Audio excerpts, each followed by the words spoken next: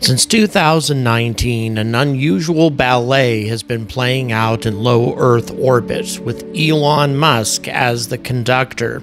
The Starlink constellation of satellites being deployed in massive numbers, at this point, outnumbering all the other satellites in orbit combined by a substantial margin, providing high speed internet service to customers across the globe, regardless of how remote they might be. However, in recent months, the FCC has announced that a strangely large number of Starlink satellites have been deorbited, nearly 500 in a six month time frame, with unknown consequences to the atmosphere and to the Starlink constellation itself. Some have argued that this is simply natural and routine deorbiting of satellites that were only supposed to last for about five years anyway, and these 500 or so satellites are simply the first mass deorbiting of satellites that were launched in 2019 to 2020. But is this indeed the case, or is there something else going on with Starlink? All of this and more coming at you on The Angry Astronaut right now.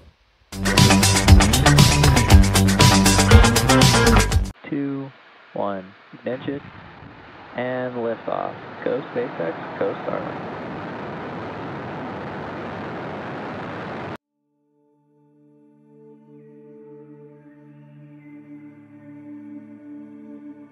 So I think you can hear from the tone of that SpaceX representative's voice that Starlink has become a pretty boring and routine thing as of late. Actually, it's been that way for quite some time. SpaceX has gotten so good at deploying these satellites that nobody can really compete with them, in spite of the fact that others have ambitions of deploying vast constellations of satellites. Only SpaceX has the combination of launch cadence and and reliability to really deploy huge constellations in a short amount of time. But in recent days, things have looked a little odd for the Starlink constellation, at least as far as some observers have concerned. It was revealed on July 2nd to the Federal Communications Commission that SpaceX had deorbited 472 Starlink satellites during the six month period from December 2024 2024 to May of 2025, an average of 2.6 per day,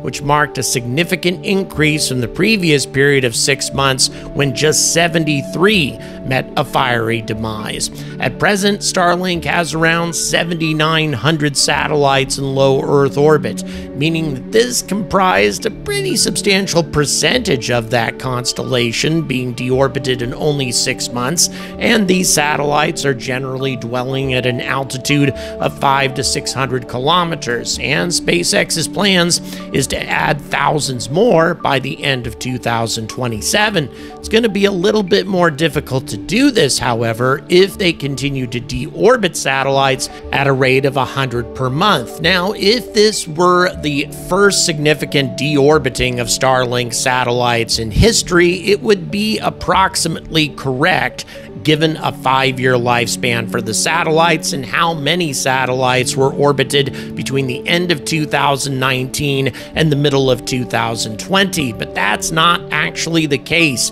Including this mass deorbiting, about a thousand or so Starlinks have actually been deorbited, which is more than expected if we are talking about a five year lifespan for the satellites.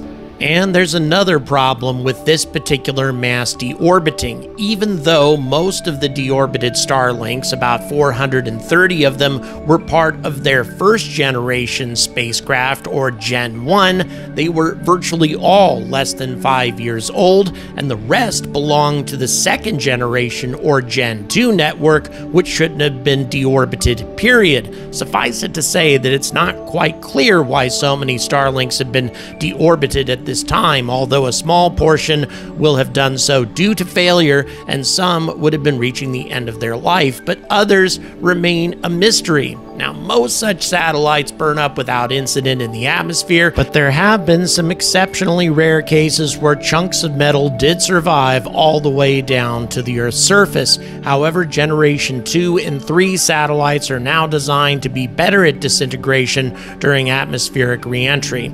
And of course, some scientists remain concerned about the release of potentially harmful chemicals into the atmosphere, which they fear might damage the sensitive ozone layer, especially given how many of these satellites have been burning up. But there's another question, of course, the most important question why is all of this happening? And I think I might have the answer. I don't think it has anything to do with Starlink itself, but rather an unforeseen event, and that was extremely active solar activity. It did a lot more damage to these satellites than was anticipated. In November of 2023, after a particularly violent coronal mass ejection, the northern lights were observed for the first time in recorded history in Turkey.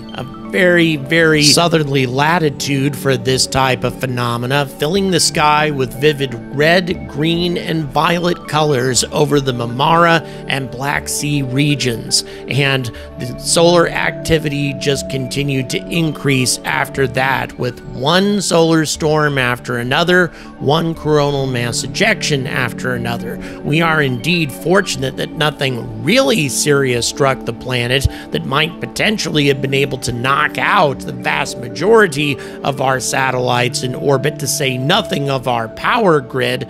But overall, I wouldn't be surprised if the Starlink constellation suffered greater damage than was anticipated. Now, once again, most satellites are shielded against this sort of thing, but Starlink satellites are mass produced and not particularly large, nor are they particularly expensive when you compare them to their gigantic gigantic brothers out in geosynchronous orbit, so it could be that Starlink suffered a bit more damage than SpaceX was anticipating, and that could mean more mass deorbitings here in the near future. My suspicion is, is that SpaceX has already corrected this problem with their Generation 3 satellites, and this problem should taper off as time goes on. But nevertheless, I suspect that the Starlink constellation may not grow as fast as Elon wants it to grow. Keep in mind that all of these satellites is the equivalent of eight Falcon 9 launches, so if they can continue to lose satellites at this rate, that's 16 Falcon 9 launches per year just to replace the lost satellites. So it could be a bit of a handicap to Elon's long term ambition of having more than 10,000 of these things in orbit Unless, of course, we can get Starship into operation because that thing can deploy enormous numbers of satellites in a single launch. I'll keep you up to date on all of this. Thank you so much for watching. Please don't forget to like and subscribe. And I'd like to thank all of those who have contributed in bringing me almost to my fundraising goal to get me to Australia. I am so astonished that all of this happened so quickly. If you'd like to help me get the rest of the way to Australia. All the details are in the description. So until next time, I urge all of you to stay angry about space.